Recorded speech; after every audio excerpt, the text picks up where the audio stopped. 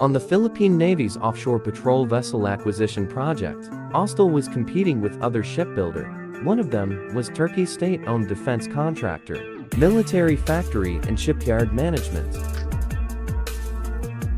ASFAT is offering an 86.2 meter high freeboard design provided by FAR, armed with a 76mm Oto Melara Super Rapid to 30mm auto cannon and stabilized remote-controlled weapon system, and two manually operated 12.7mm heavy machine guns, and an option to be armed with up to 8 anti-ship missiles.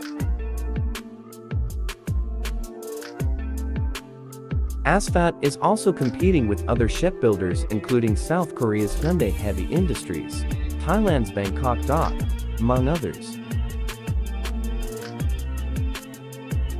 Based on information received by Max Defense, ASFAT's offer is very comprehensive and beneficial to the Philippines, as it includes investment in the local shipbuilding industry, including technology transfer and local construction of some of the ships.